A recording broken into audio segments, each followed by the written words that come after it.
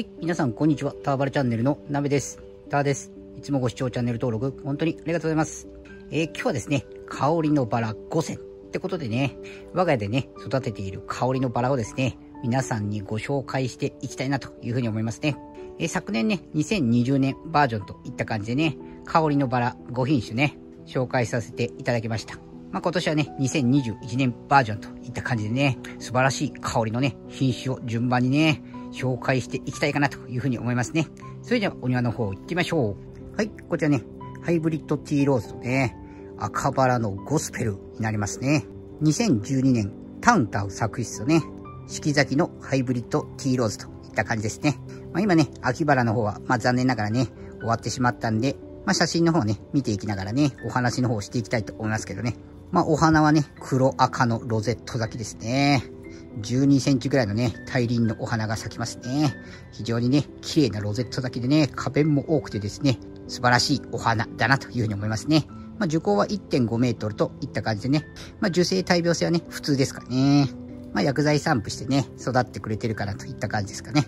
香りはですね、まあ、なんとね、超強化。強化のね、またその上ですね、超強化。特にね、秋は本当にね、素晴らしい香りがしましたね。ダマスクのね、香りですね。超強化のダマスク。黒赤のロゼット咲きの大輪。もう言うことないんじゃないかなというふうに思いますけどね。非常にね、香り好きのね、方にはこちらのゴスペルね、おすすめできるなというふうに思いますね。そしてですね、2012年、ジュネーブ国際バラコンクールでですね、まあ、なんとね、金賞を取っている品種でね、まあ、これもね、本当に素晴らしいことだなというふうに思いますね。春のね、ゴスペルはね、もう少し薄い色でね、まあ、香りの方もね、まあ、やや弱めかなというふうに思いますけどね、まあ、ゴスペルちゃんはですね、やはり秋がメインなのかなというふうに思いますね。もう毎朝毎朝ね、香りのチェックしてですね、もう本当にこちらのゴスペルちゃんにはね、癒されましたね。もう赤黒のね、ダマスク超強化のゴスペル香りのバラお探しの方はね、タウンタウンのゴスペル、いいんじゃないかなというふうに思いますね。それではね、次行ってみましょう。はい、続きましてね、こちら、殿堂入りのバラですね。ダブルデライトになりますね。まあ、こちらもね、秋バラが終わってしまってね、もう下場の方はね、黄色くなってね、もう落葉がね、始まってますね。もう休眠期に向かってね、少しずつ葉っぱの方もね、黄色くなってますね。えー、こちらですね、1976年、アメリカですね、四季咲きのハイブリッドティーローズと、お花はね、大輪の丸弁更新咲きですね。赤とね、クリーム色といった感じのね、お花になりますね。まあ、若干ね、少し気難しい品種かなというふうに思いますけど、まあ、薬剤散布してね、まあ、順調にね、育ってくれてるかなというふうに思いますね。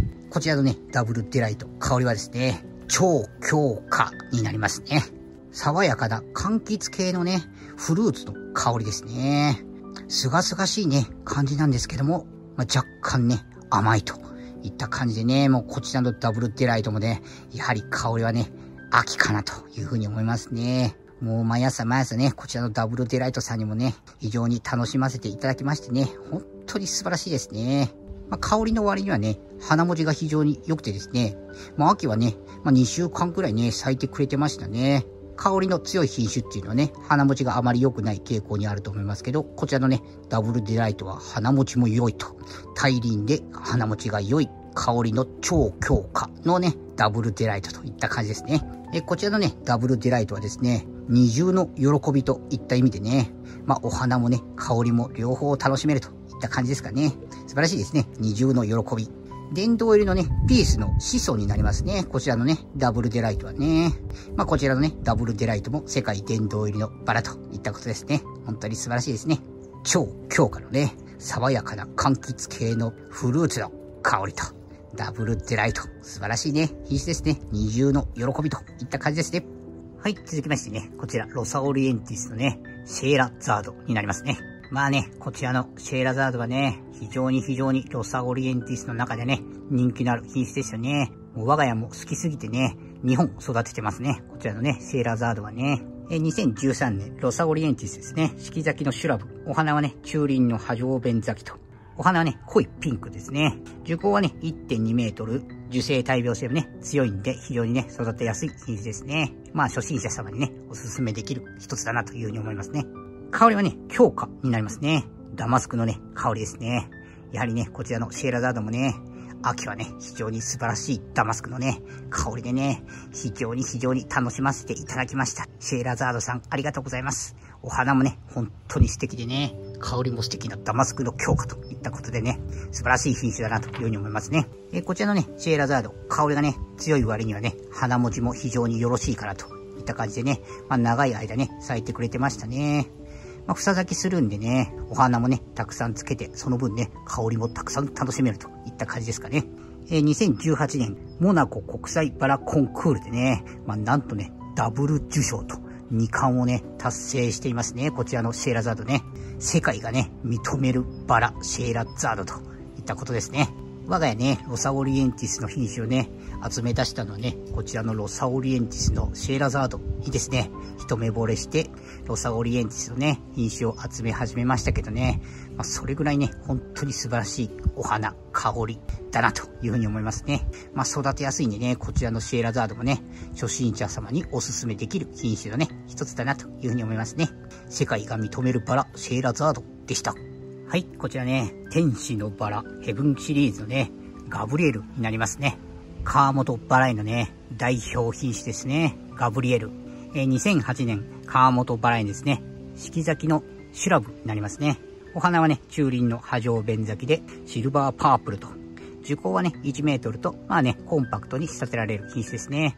まあしかしながらね、気難しい品種なんで、まあ樹勢ね、大病性はあまりね、強くないかなというふうに思うんで、まあ、大事に大事にね、毎日見てあげることがね、大切かなというふうに思いますね。こちらのね、ガブリエル、香りはですね、強化ですね。ブルーのね、香りと。ブルーのね、香りの中ではね、やはりこちらのね、ガブリエルがね、一番じゃないかなといったぐらいね、本当に素晴らしいね、ブルーの香りがしますね。まあ、なんといってもね、お花もものすごい綺麗でね、香りもブルーの香りと。まあ、本当に素晴らしい川本バライのね、ガブリエルだなと天使のバラと言われるだけね、あるなというふうに思いますね。バシッとね、育ててお花もね、香りも楽しんでいけるこちらのね、ガブリエル、川本バラ園の中ではね、やはりこちらのね、ガブリエルおすすめだなというふうに思いますね。一家に一本ガブリエルね、ぜひね、育ててみてほしいなというふうに思いますね。まあ、気難しいバラといったことでね、まあ、しかしながらね、毎日毎日愛情を持ってね、見てあげることで、バシッとね、育てることができるんで、まあ、難しい品種なのかもしれませんけどね、一度ね、挑戦してみるのもいいんじゃないかなというふうに思いますね。お花、香りを楽しんでいきましょう。ガブリエルでした。はい、最後になりますね。こちら、オベリスク仕立てにしております。デルバールのね、ナエマになりますね。まあこちらのね、品種、非常にね、枝が長くてですね、2メートルぐらいありますかね。いや、もう少しありますね。非常にね、大きくなる。樹勢のね、強い、大病性も強いね、育てやすい品種ですね。デルバールのね、ナイマ。1998年、フランスのね、デルバールになりますね。で、四季咲きのシュラブですね。お花はね、中大輪のソフトピンクのカップ咲きですね。非常にね、女性に人気のあるね、ナイマ。まあ、お花見ればね、わかりますね。すっごい可愛いですからね。こちらのね、ナイマね。香りはですね、まあ、なんとね、超強化と、フルーツのね、香りがしますね。こちらのナイマはね、非常に甘いね、素晴らしいフルーツのね、香り。なんですけどね、花持ちがね、あまり良くないかなと。まあ、5日間ぐらいはね、咲いてくれてるかなというふうに思いますけどね。まあ、しかしながらね、非常にいい香りがするね。こちらの美しいお花、香りのね、ナイマちゃんですね。ナイマのね、名前は香水のね、名前から由来されているといったことでね、それだけね、素晴らしい香水のようなね、フルーツの香りのね、ナイマちゃんといったことですね。まあ、ステムがね、若干長くなるんで、まあ、仕立て方はね、まあ、少し難しいかなというふうに思いますけどね。まあ、剪定したところからですね、まあ、60センチ、70センチぐらい伸びてね、お花がその先に咲くと、六六尾ナエマなんてね、呼び方もされてますけどね。まあ、構造物にね、まあ、誘引してお花をね、咲かせてあげる感じがね、よろしいかなというふうに思いますね。まあ、我が家ね、まあ、10号鉢とね、オベリスク仕立てにしてますけどね、まあ、それでもね、オベリスクを超えて、こんな風にね、秋はね、枝が上にビヨーンと伸びるね、感じになっておりますけどね、まあ、それでもね、素敵な香りをね、楽しむことができる、こちらのね、ナイマも、まあ、受精大病性がね、強いんで、初心者様にね、おすすめできる品種のね、一つじゃないかなというふうに思いますね。デルバールのナイマ、フルーツの香り楽しみたい方はですね、こちらの苗はいかがでしょうか？はい。今日はね、2021年バージョンといったことでね、香りのバラをですね、5品種紹介させていただきました。まあ、どの品種もね、やはり、超強化、強化といった感じでね、まあ香りをね、楽しむんだったらこの5品種はね、非常におすすめできるかなというふうに思いますけどね。まあ育てやすい品種だったりね、まあ気難しい品種もありましたけどね、まあ愛情を持ってね、育ててあげれば、このね、素晴らしい香りをね、楽しむことができるんじゃないかなというふうに思いますね。まあまだまだね、我が家香りのバラね、たくさんあるんで、またね、機会がありましたら、皆さんにね、ご紹介の方していきたいなというふうに思いますね。それでは今回も最後までご視聴いただきありがとうございました。また会いましょう。さよなら。さよなら。